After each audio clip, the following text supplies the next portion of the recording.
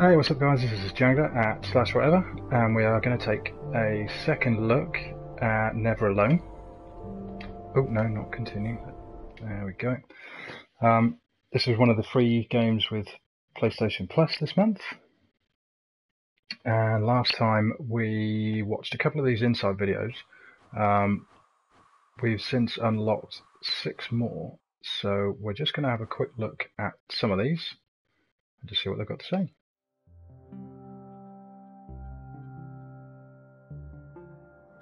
When I was growing up, uh, my grandpa uh, had a pet white fox. If you're a good friend with a fox, when there's danger abound, they try to keep you from getting into trouble. They pull tricks here and there, and foxes are uh, like uh, spoiled little kids in a way.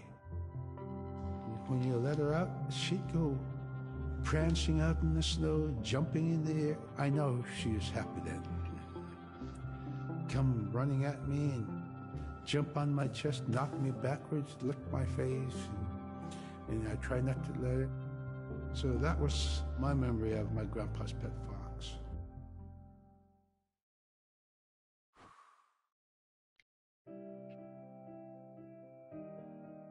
Caribou was it provided for us in many ways. Our clothing in those days was made of all caribou skin. I grew up wearing caribou pants, mittens, caribou skin mattress, blankets. Some people had boots that were made with wolf leggings, sealskin sole bottoms. Baleen was shaved to make insoles. They kept us quite dry and warm as well. But the caribou skin clothing was the best. We would get as many yearlings as we could for our outer clothing.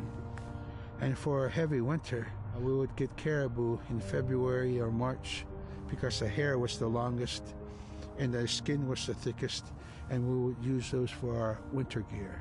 With that stuff on, you could sleep outside in 50 below and it wouldn't bother you a bit.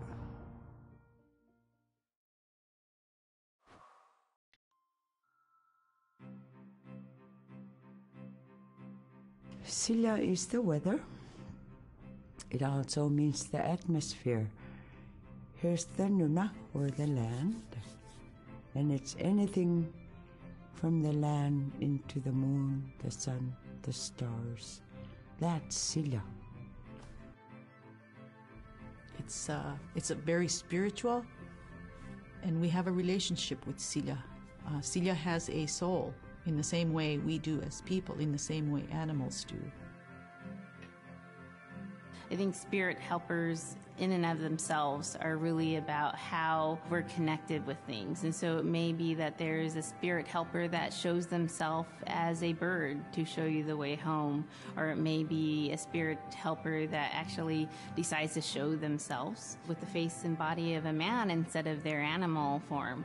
And so I think one of the things that's hard to understand is that it's not one way of seeing things, it's one way of knowing you're connected to everything. We've always had that spirituality of everything around us. It's the interaction you have with the air you breathe, the, the ocean that you gather resources from, the rivers from which you gather fish, the tundra from which you pick berries, the animals that give themselves. It's, it's all of all of that.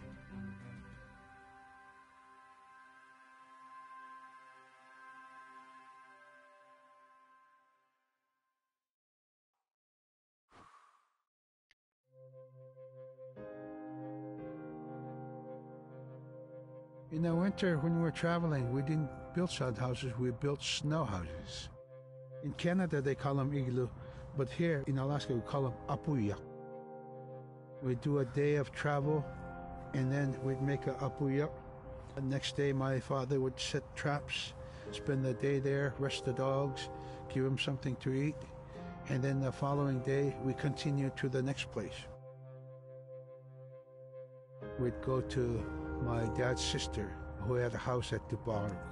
They had a small sod house over there. We didn't have to do anything. We just visit with them, and my dad and my sister were glad to see each other, and they'd talk away while us kids played outside or go to sleep. By the time we get back to our home, my father would leave us with our aunt or with my grandmother. And then he'd start on his trips and go check his trap line. We were not into 8 to 5 kind of time, you know. We're in a totally different kind. We're in ecological time.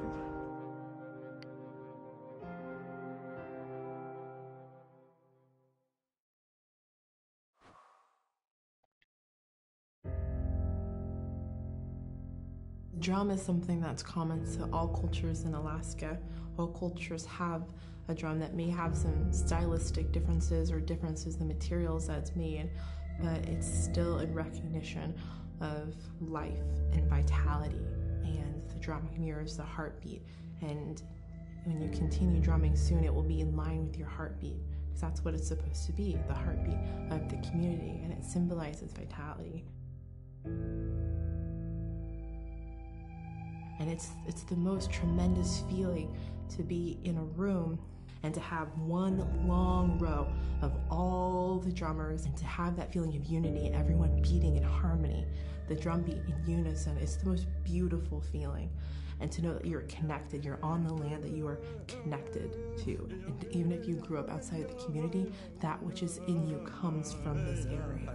And it's it's the greatest feeling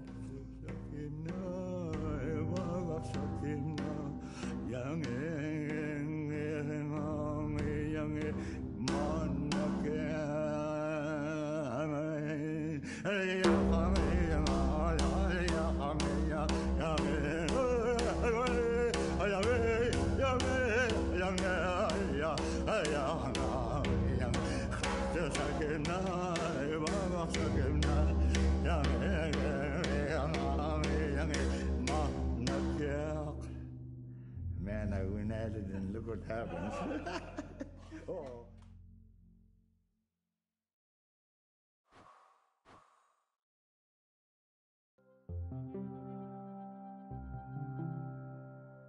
They're just like other people.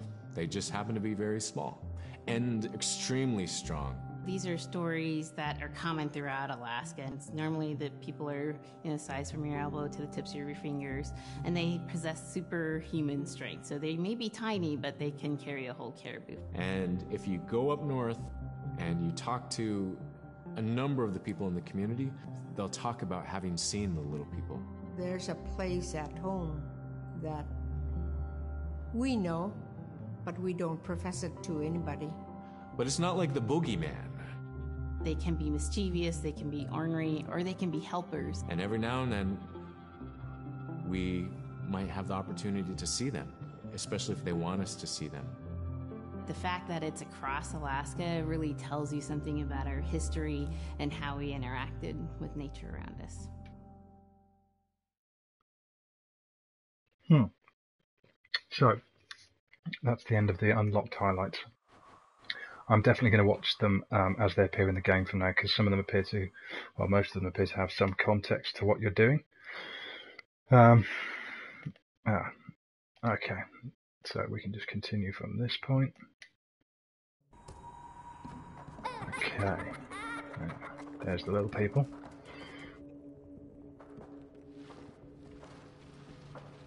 Uh, it seems to have put me back a little way.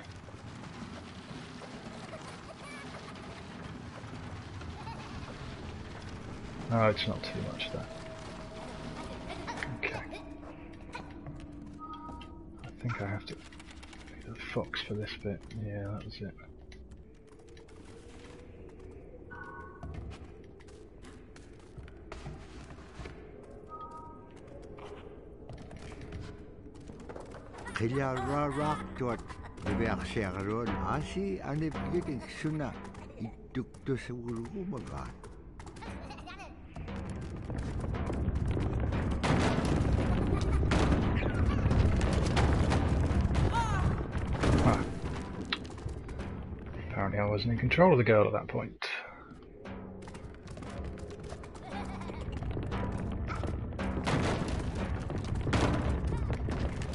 Ah yes, yeah, it has put me back a little bit. I remember doing this one last time.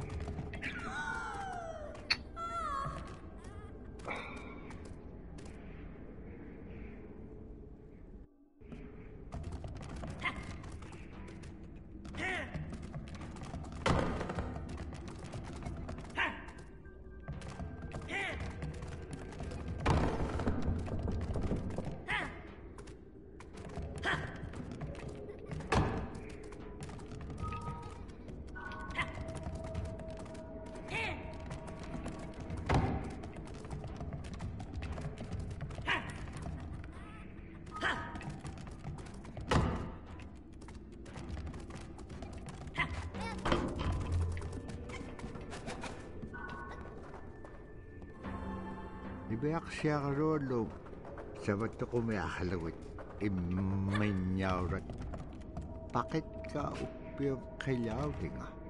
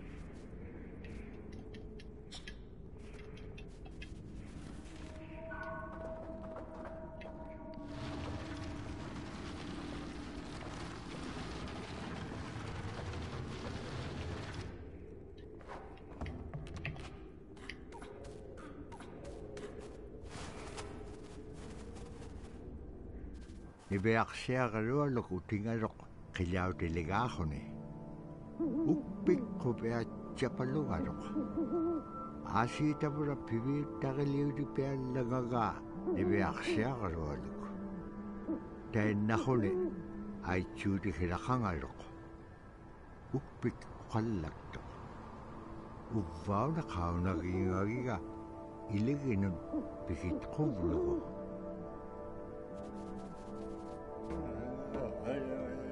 The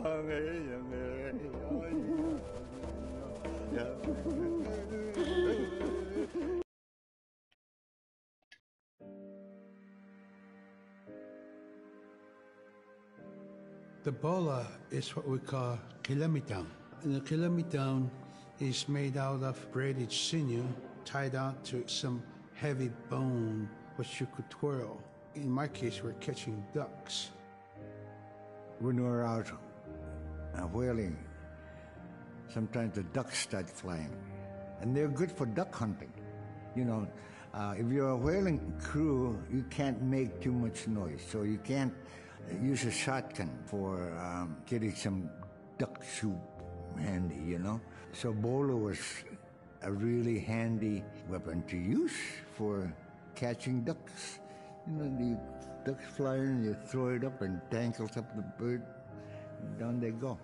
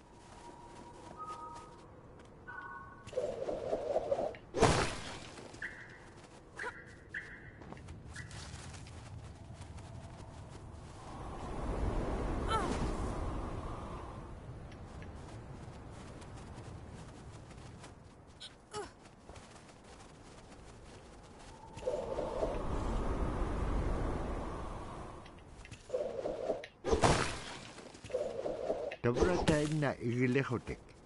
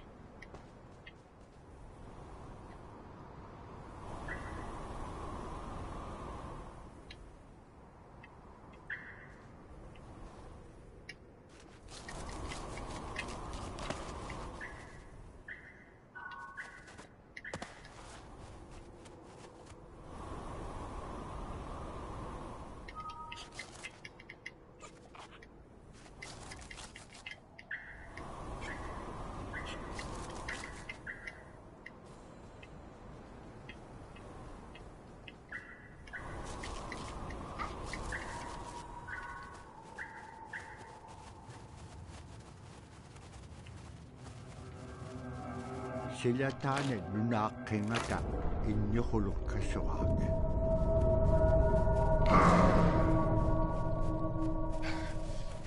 иннюхулуум таалтукамиу нутқақугаа агалааннивиақсиаралуалу саперинарсималу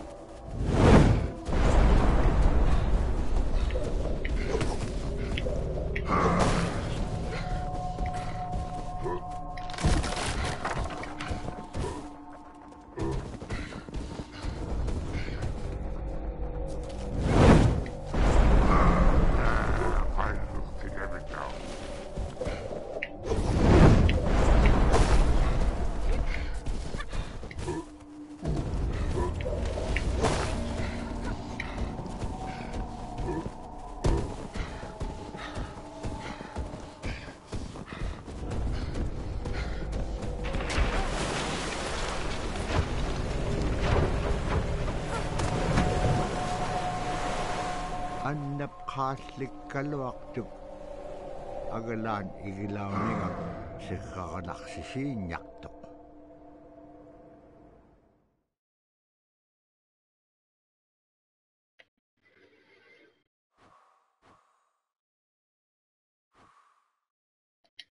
We've already seen that one. I'm not sure why it's offering to show us that again.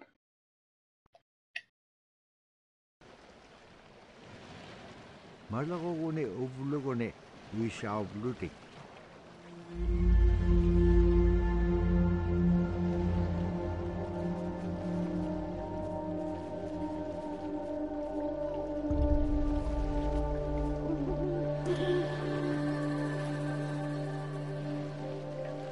Okay, now we get a new one.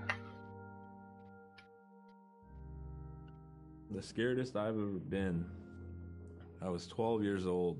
We floated out on a piece of ice uh, while we were duck hunting. It was a bluebird day, just clear blue skies, and there was three of us: myself, my brother, and my dad. Next thing you know, we see this dark, dark shadow on the ice. Uh, we look, and it goes behind us. So we we all jumped up, startled, and uh, my dad he started running. We got back to the ridge there. The uh, the ice had fractured, cracked, and broke off, and we were floating away. We were we were drifting. it was close enough to where my dad would have made it. He stopped and he thought about throwing us across, and if one of us was on the other side, we would be split up. So he stopped, and he just so happened to have a, a cell phone on him. 911 didn't pick up. That's the worst feeling in the world right there. 911 did not pick up. So he left a, a, message because they record their calls. Once he had relayed that information, his cell phone died. That was the scariest moment I've ever had in my life. We were floating away, and I thought we were left for dead. Uh, he kept calm during this situation. Uh, he's bringing out everything positive in this case. You know, I'm crying, my brother's freaking out. It went from clear blue to dense, dense fog. Within a couple hours, we heard the chopper flying around, so they must have gotten our message. Uh, we thought we were saved, and then the chopper sound went away. So we lit some of the sled on fire. It's plastic. We thought black smoke in the fog would create some kind of marker. Chopper pilot uh, had mentioned uh, when we got rescued, you could see a glow in the fog. And he slowed down there, and sure enough, as soon as he slowed down, uh, we got within visual. That was definitely the scariest moment of my life was floating away and not knowing what the outcome was going to be.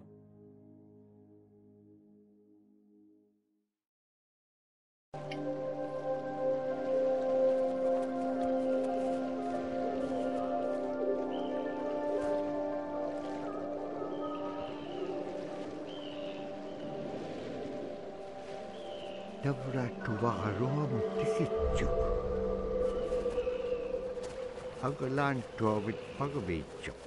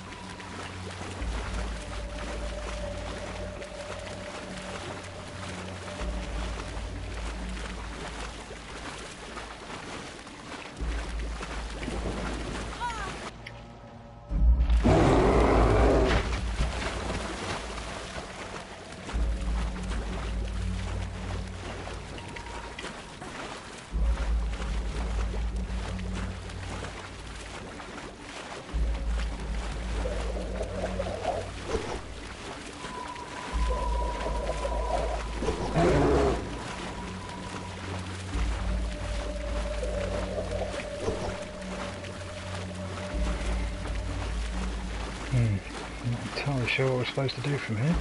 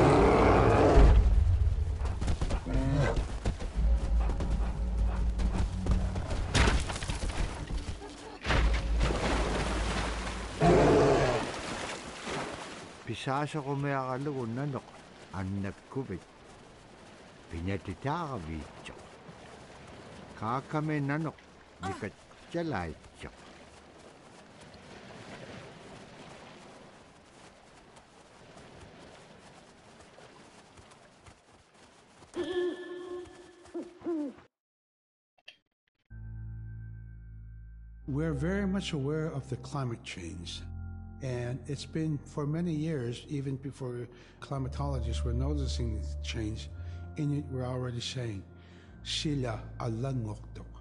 Our climate is changing.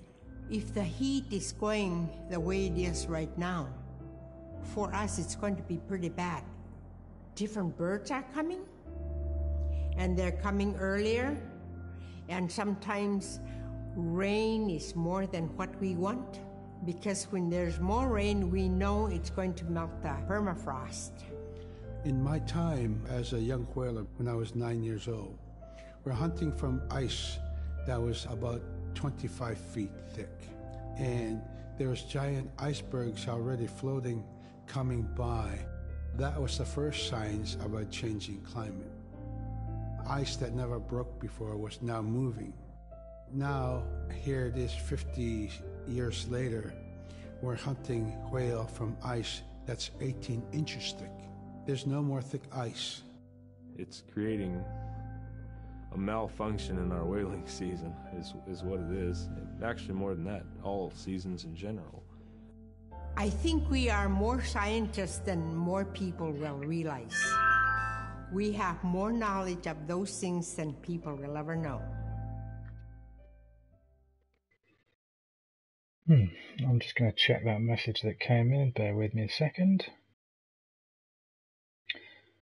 Okay, that is just a message about potentially finishing the GTA Online heists.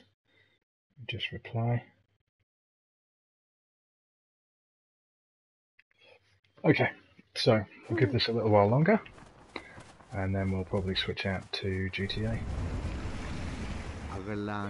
Na alaw.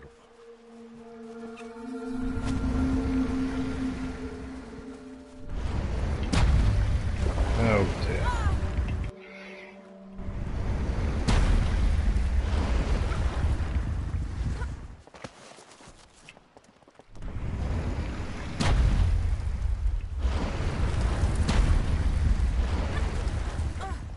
Luktan lanik sok. Ano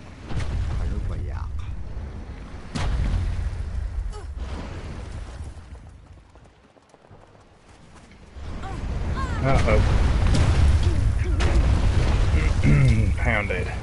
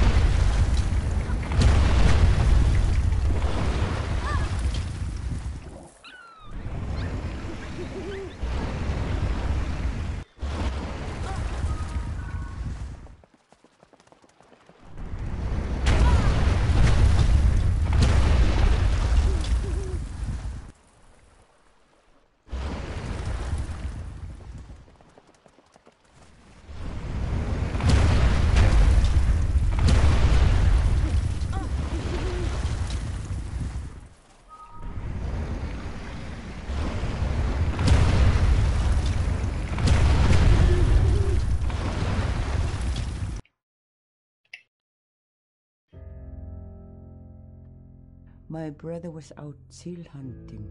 He got attacked from behind and managed to grab his knife and save himself. When he came to realize, oh no, it's a mother. We've always known traditionally that we avoid killing a mother. It's always been sacred to us to protect them. He had to present himself to the council, and so he was given the job to mother the baby, and we kept it. It got so big, it went over the barricade one day and got to the dog food, and that was an indication that, oh, oh, brother better go teach it how to survive on its own. So he did. I really got attached to the bear because I more or less grew up with it. And some days when brother took him walking, once in a great while he'd put me on the bear and I would ride on it like a horse. Just, I was just happiest little girl in the world.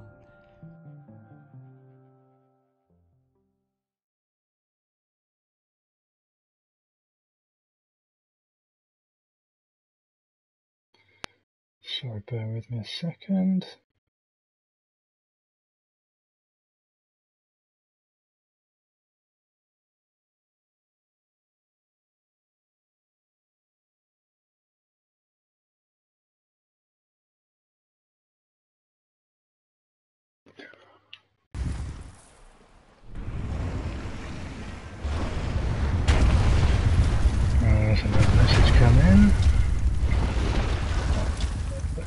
Get through this bit without getting crushed, and then we'll go and play some GTA.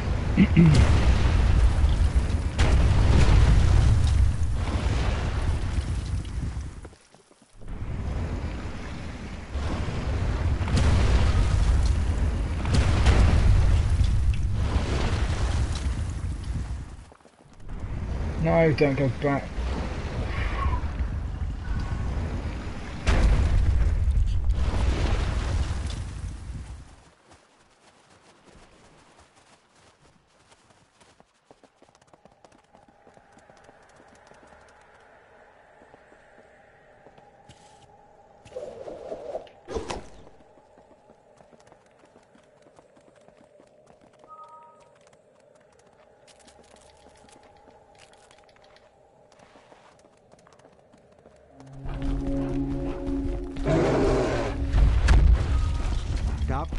Eskişşakkan nannup sitlanga. Asi piyumagili piksuagai. Tikitsak tuon.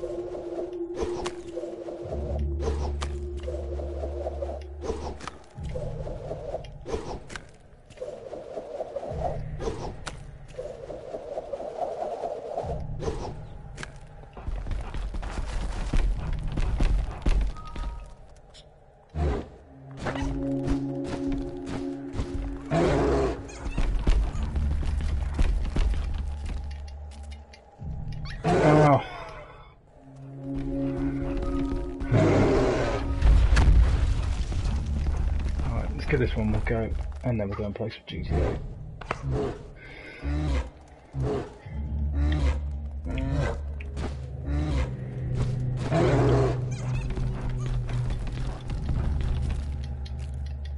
Oh, for fuck's sake. That wall jump mechanism is a little bit flaky.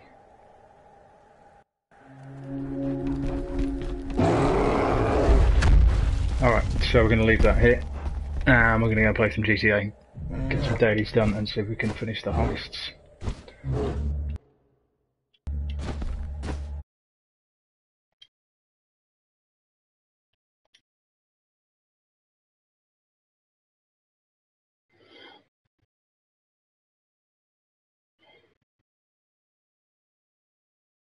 Ah, I can see your comments now. Okay, so what is this?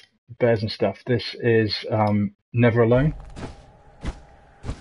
This is uh, Never Alone. Ooh, dear, I didn't know the bear could climb up there. Yeah, this is Never Alone. It was free with uh, PlayStation Plus this month.